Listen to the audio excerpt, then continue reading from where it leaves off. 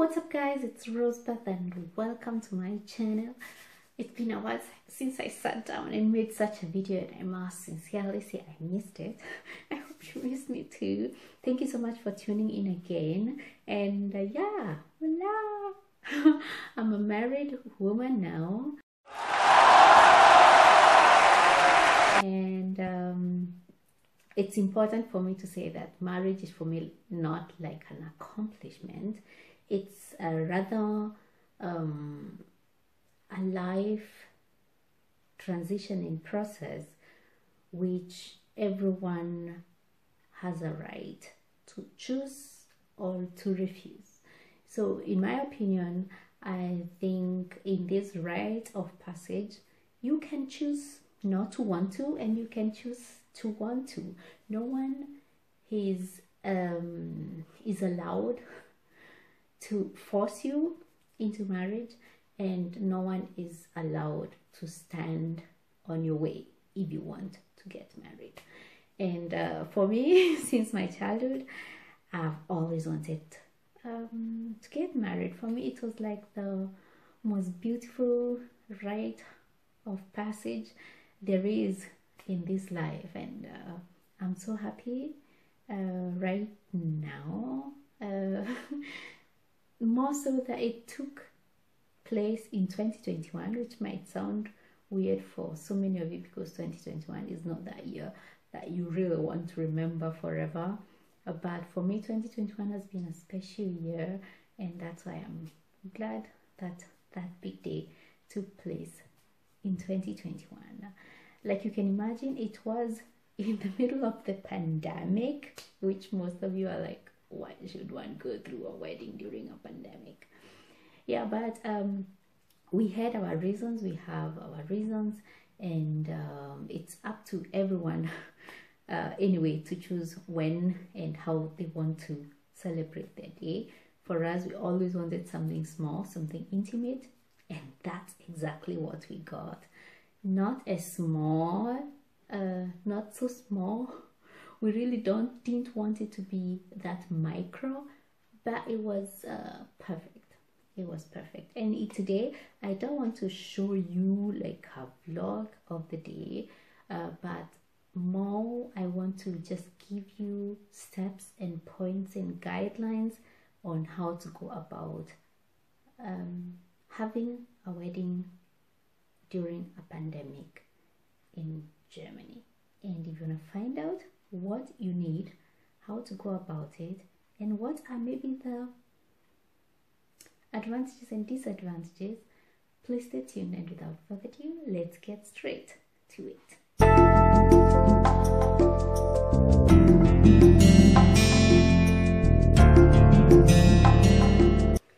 Alright, I think maybe if you're watching this video, congratulations are due.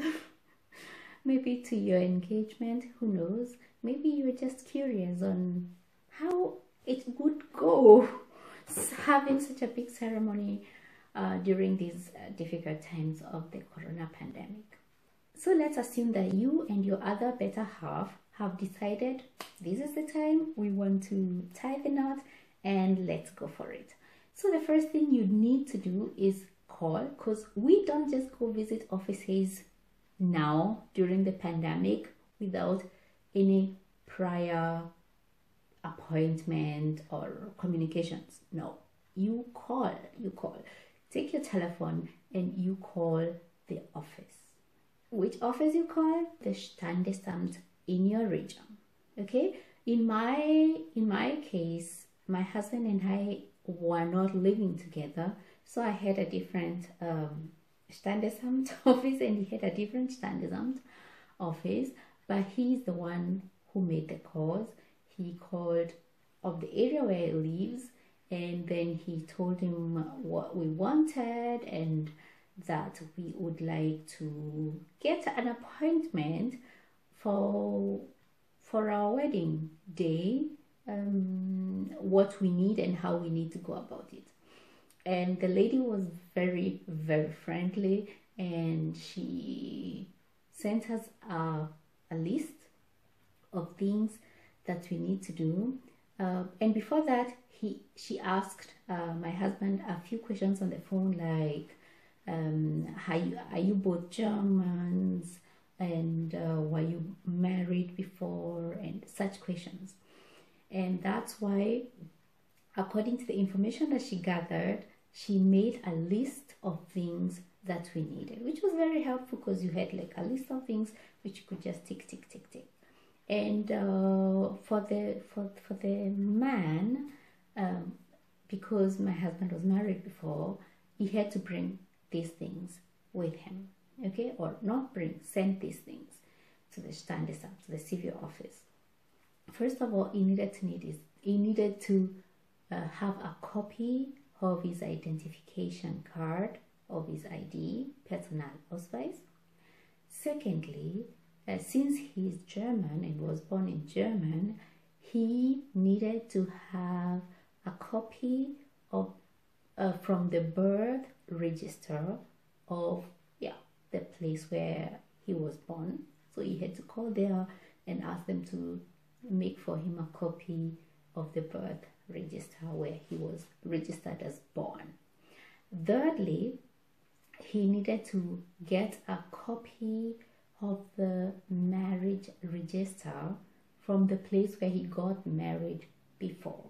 And fourthly, he needed to bring an extended um, registration certificate, which is like the erweiterte Meldebescheinigung, which you get from the Anmeldeamt, like a normal Anmeldebescheinigung, but this one is a little bit extended, erweitert. Good. When it came to me, I needed the following things. Since I am German now, I have a German Personalausweis. That means I also needed to uh, send a copy of my identification card, my Personalausweis. Uh, secondly, since I was not born in Germany, there is nowhere they could go and ask for the copy of the birth register. No. So I had to get my birth certificate translated and certified, which costs like 50 euros, uh, like in average. And uh, that is important because it will be, it will not just be translated, but it will also be satisfied to be beglaubigt und um, übersetzt. Yeah. And the other thing, um, they had to get in contact with the Ausländerbehörde to make sure that the birth certificate was tested of its originality. And if it was not tested of its originality, they would have to go to the to the Kenyan uh, consulate in Nairobi, and they would have to test and make sure that the birth certificate has been proved of its yeah Echtheit, its realness, its um God the English language is just flown from my head. Yeah, of its legitimacy, I would say. Yeah, I think there's a word, I'm just not getting it. All right. So, uh, yeah, and this process of contacting Nairobi and getting to make sure that my birth certificate was of original, uh, to make sure that my birth certificate is origin original would take up to six months. Imagine. So yeah. And the other thing I needed to bring was, of course, this extended Anmeldebescheinigung from the unmade Anmeldeamt. So those are the things, personal things which the man and the woman needed to bring according to where they come from. And I just gave you this um, example of my husband and I because these are the things I know. Maybe for you and your husband, if you are both foreign, you will need our different um, list of things that you need. Maybe if you're both Germans, you need a different. So it, it depends on what kind of people you are. Were you married before? Were you not? Are you from? Were you born in Germany? And so on and so forth. Good. so for me i was lucky enough my my birth certificate certificate was legitimate legitimized as original and uh, the process took really almost no time at all. I got the reply very quickly because the Ausländerbehörde said they already did the um, the checking and everything is okay. Good. So apart from this list you need to fill in a form. And in this form it's all about saying that you as a person are of age and you want to get married out of your own will and you are in your sound mind. This is a document which usually is signed when you are at the Standesamt but due to the pandemic you cannot just travel to the Standesamt the civil office. You just you you just get sent it um, at home and you sign it and send it back. Okay. And apart from the form sorry you will also need a form for your Trauzeuge. If you want to have Trauzeuge for your wedding, which is by the way not necessary, it's not a must. You don't have to have witnesses anymore, but if you want to, you also need to write their names and what your relationship is and sign because it's also important.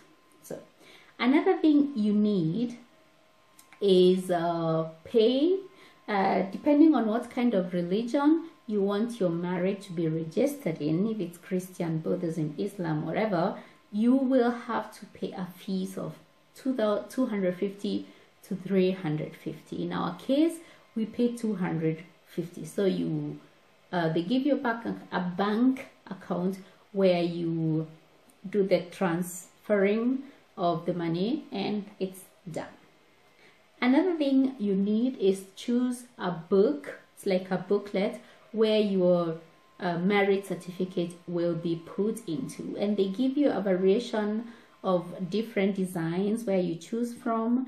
They have a range of prices ranging from 15 to 30 euros and you can choose one of these um, designs and say bam that's the one you want. It's really just a sense of preference and uh, taste.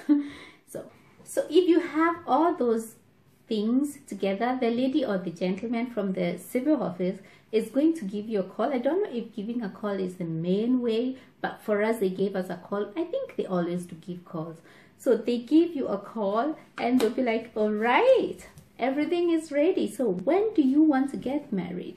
And uh, they give you options of dates. And like you can imagine, many people who wanted to get married in 2021 had to postpone their weddings because it's not easy to get people together. It's not even legal to get people together during a pandemic. So many people postponed their weddings and they they have like many free dates and uh, it's not difficult to get an appointment anymore like it was before it was it was not it was not difficult so for us we were like when is it possible? And they're like whenever you want. And we're like even in like three weeks? And yeah.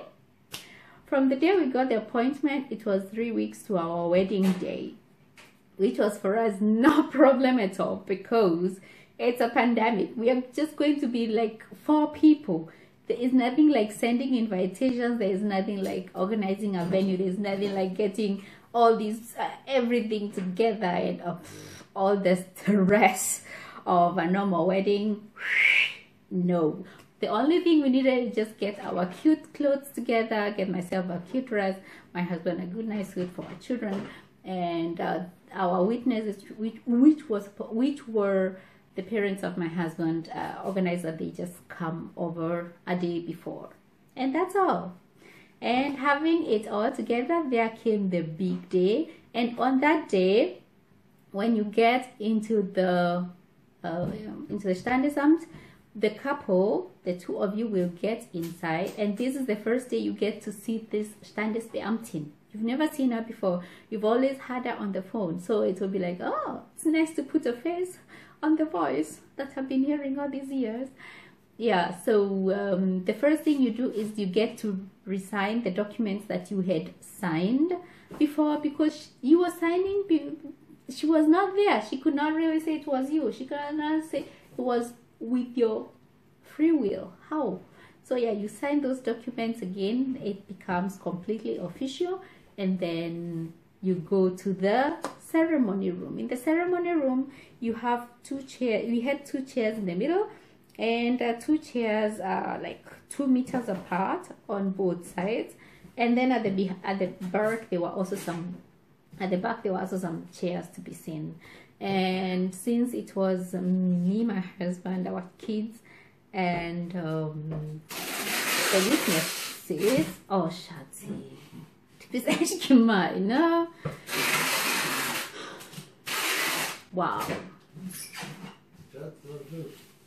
Wie denn wie soll ich jetzt reden so yeah the the service the ceremony took like 15 to 20 minutes which was perfect because if it were any longer and the people are there with their mask it would have been horrible horrible. So yeah it was perfect the way it was. It was just perfect. Afterwards we were just outside. It was beautiful weather uh, clear blue skies. The sun was out. It was just an amazing day we had already ordered some lunch for home. We had also ordered some dinner.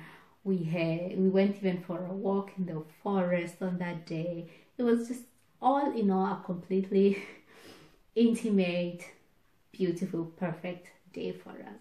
And if it were for you um, let me know at the comments below if you consider such um, such a time for such a big day or if it's for you a no-go why should you anyway? Yeah it's everyone their own um, decision. And i just would like to know what your decision is.